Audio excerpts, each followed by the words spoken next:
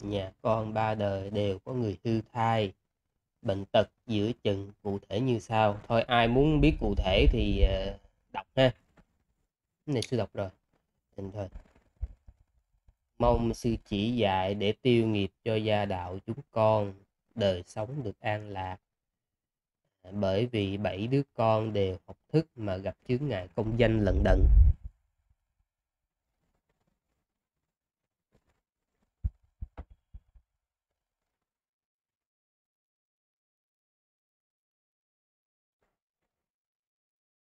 Thứ nhất là cái quả của ác nghiệp quá khứ.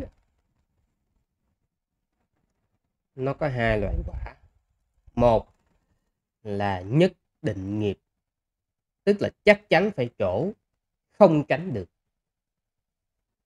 Cái thứ hai là bất định nghiệp, tức là có thể trổ nhưng mà nó sẽ chịu chi phối bởi những cái quả khác hoặc là bởi sự nỗ lực của mình trong kiếp hiện tại. Nhất định nghiệp tức là cái quả không tránh được. Ví dụ như ngày một kiền liên ngài bị ờ, bọn cướp hành hung và chết à, và viên tịch thì cái đó không tránh được. Hoặc như à, đức thế tôn khi mà ngài gần viên tịch thì ngài bị kiết lỵ ngài xá lợi phất gần viên tịch thì ngài bị kiết lỵ. Cái đó là nhất định nghiệp và không tránh được. Hoặc là như trường hợp à, Bồ Tát khi mà ngài làm trong cái kiếp này còn là một con dê đó thì người đau phủ tha cho ngài tức là không có giết ngài nữa. Nhưng mà cái hòn đá đó à, nó vẫn rơi tức là đau phủ họ đi rồi. Nhưng mà cái hòn đá nó bị vẫn ở trên nó rơi xuống và nó cũng chặt đúng ngay con dê và con dê nó cũng bị chết do bị đứt đầu. Tức là cái nghiệp mà bị chết do đứt đầu đó con dê đó không tránh được. Do cái nghiệp đó là nhất định nghiệp. Hoặc là trong kinh thì còn có trường hợp như là à, bà mẹ của à, hình như là 18 người con một người chồng và 18 người con. Chứ không nhớ chính xác bao nhiêu con mà nhiều con lắm. À, bị à, giết à, bị xử tử hình và bà phải chịu cái nỗi đau mất con. Thì cái đó cũng là nhất định nghiệp bà không tránh được.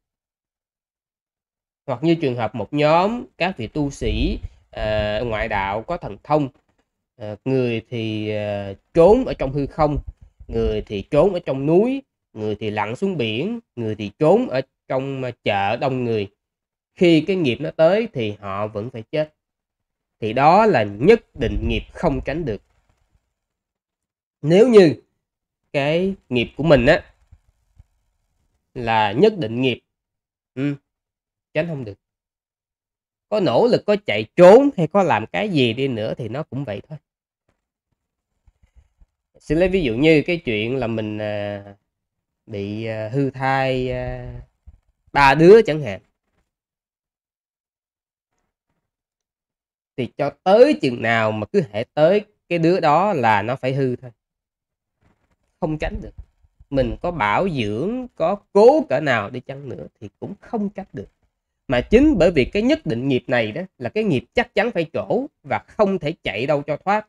Nhiều người họ nhầm tưởng và họ cho rằng đó là có một cái à, gọi là cái định mệnh. Họ cho là cái định mệnh tức là mình trốn sao cũng không được nhưng mà họ nhầm. Đó là nhất định nghiệp.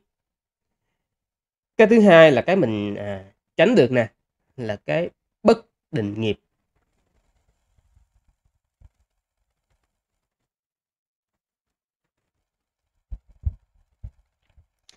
Cái bất định nghiệp á, tức là cái nghiệp mà chúng ta có thể can thiệp được có thể thay đổi làm cho nó tốt hơn hoặc là tệ hơn. Ví dụ như à, hai vợ chồng à, một cái nhà rất là giàu. Nếu như mà vào thời trẻ họ trí thú làm ăn thì họ là người giàu nhất trong cái xứ này. Mà nếu như họ xuất gia đó thì người chồng chứng a la hán người vợ chứng a na hàm nếu như vào cái thời trung niên á, và mà họ chí thú làm ăn á, thì họ sẽ là người giàu nhất cái quốc độ này.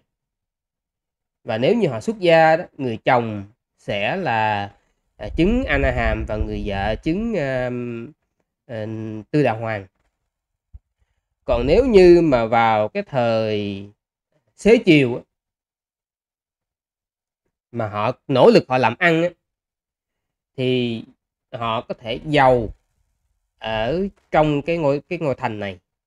Còn nếu như xuất gia thì người chồng có thể chứng uh, tư đào hoàng còn người vợ có thể chứng tu đào quần. Nhưng do họ đã khi mà tới già rồi họ đã xài hết tài sản của thế tục và họ cũng không xuất gia cho nên là họ không còn cái tài sản nữa. Họ phải đi ăn xin và họ cũng không còn luôn cái tài sản của đạo tức là họ không còn khả năng xuất gia và chứng đạo được nữa. À, cho nên là mình đừng có nghĩ là cái phước mình có là tự nhiên là nó phải tới ha. Cho nên nó còn tùy thuộc vào cái nỗ lực hiện tại của mình nữa. Cái thứ hai trong những cái nghiệp ác đi như là một vị à, thương nhân trong chú giải pháp cứu đó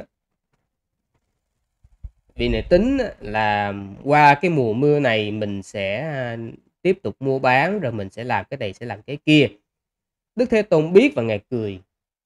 Ngài Ananda hỏi Đức Thế Tôn tại sao à, như à, tại sao Thế Tôn cười. Đức Phật nói cái người thương nhân này nghĩ là qua mùa mưa mình sẽ đi buôn chỗ này mình sẽ đi buôn chỗ kia nhưng mà người thương nhân này họ không biết là 7 ngày sau họ sẽ bị chết vì chết đuối do cá chết đuối do cá và sau đó làm mồi cho cá và sau khi chết là sẽ phải đi địa ngục.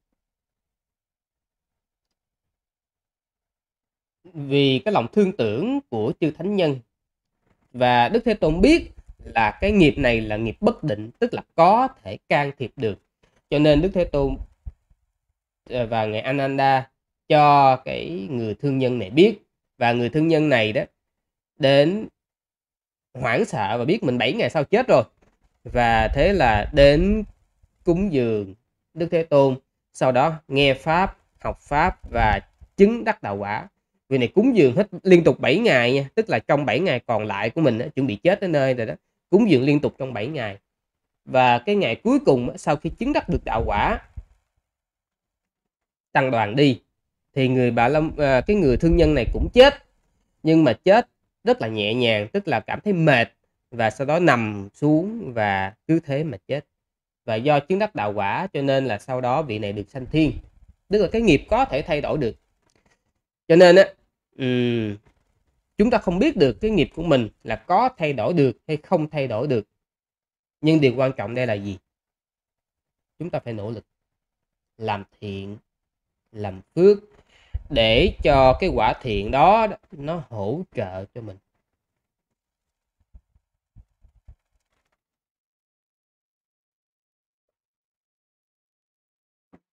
Xin lấy ví dụ.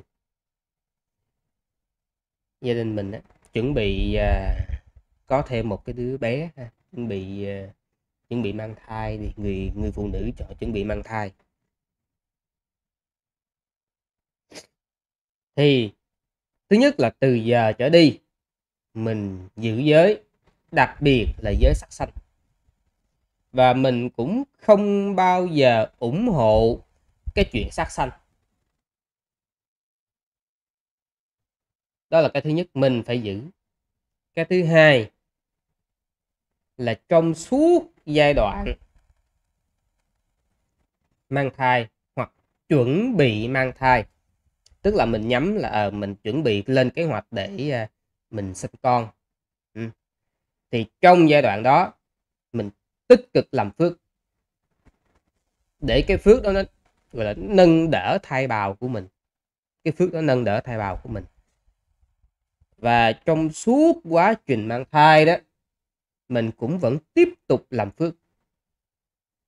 Để cho cái phước đó tiếp tục nó nâng đỡ.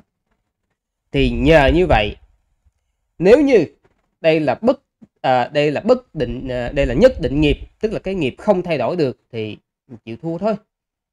Nhưng mà mình cũng có cái phước đó để à, nó hỗ trợ cho mình. Còn nếu như đó là bất định nghiệp tức là nghiệp có thể thay đổi được thì nhờ cái phước hỗ trợ cho thai bào của mình đó thì mình có cơ hội để vượt qua.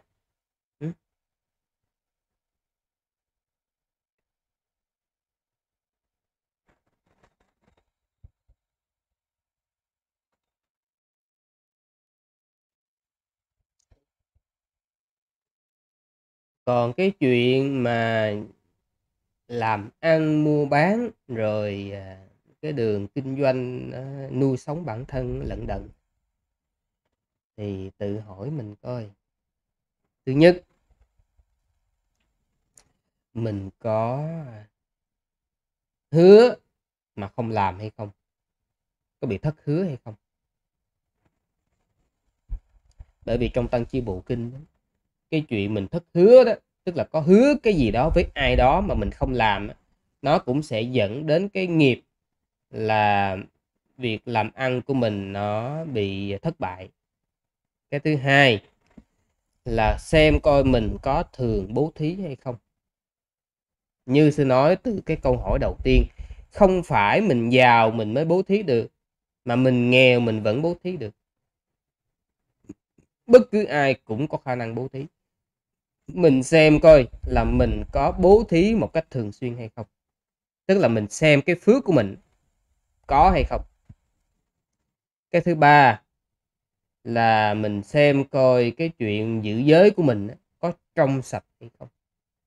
Bởi vì khi cái giới của mình không trong sạch nó mang ý nghĩa là đời quá khứ mình dễ gì tốt hơn bây giờ tức là có thể đời quá khứ mình cũng không giữ được giới. Mà đời quá khứ không giữ được giới, đời này mình chịu khổ. Bây giờ mình không giữ được giới, đời sau mình chịu khổ. Ra, xem dùm sư những sự kiện này. Thì nếu như đó là nghiệp có thể can thiệp được, thì nhờ như vậy quý vị sẽ tốt hơn.